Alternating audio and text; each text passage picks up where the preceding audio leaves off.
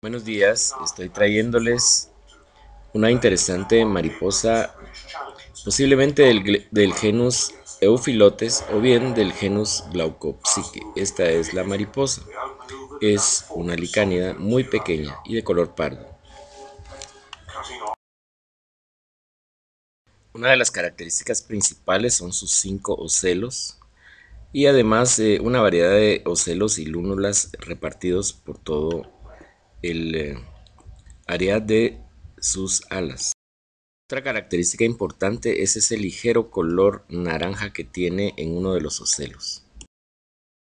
Salía yo a la tienda a hacer algunas compras temprano en la mañana y estas mañanas de otoño han sido muy frías, muy húmedas porque ha llovido bastante en la noche y en este campito se mantienen una gran variedad de euremas posadas.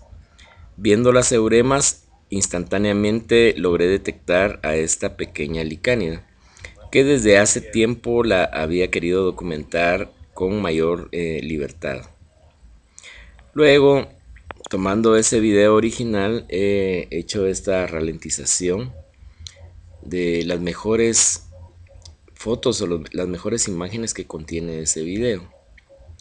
Y podemos ver que con la luz matinal eh, de más o menos las 6 o 7 de la mañana, pues eh, los brillos claros de la mariposa hacen un poco difícil detectar perfectamente sus detalles. Este es el espécimen B, tomado uno o dos días después, mantiene las mismas características.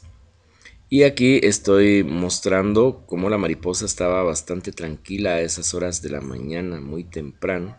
Aquí muestra la mariposa su color verdadero, su color, un color pardo.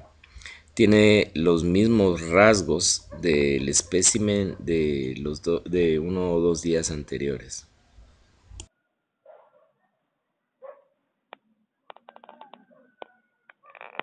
Si comparamos los dos especímenes, nos daremos cuenta de que tienen las mismas características. Para una posible identificación tenemos esos cinco celos que están en el ala más grande, en el ala anterior, comparados con la celastrina, serotina y la glaucopsique ligdamus, vemos que no hay muchas semejanzas. Si comparamos con la Euphilotes batoides y la Glaucopsique spiazus, vamos a ver que sí se presentan en ambos especímenes esos cinco celos, pero yo encuentro una mayor semejanza con la Euphilotes. Gracias por visitarnos, suscríbanse a nuestro canal, estaremos muy gustosos de recibirlos y compartir con ustedes todas nuestras aventuras con las mariposas de Chinautla.